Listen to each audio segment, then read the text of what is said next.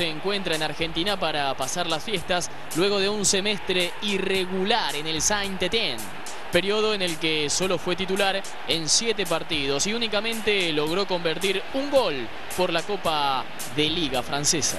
Terminamos bastante bien, eh, a cuatro puntos, tres puntos creo ahí, bueno, así que fue muy positivo para, nosotros.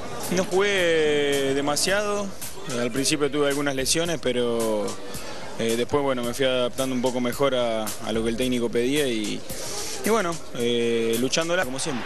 Pese al interés de varios clubes argentinos por contar con sus servicios, entre ellos Boca Juniors, el ex delantero de Racing, San Lorenzo y Benfica de Portugal tiene claros los objetivos para el futuro inmediato de su carrera.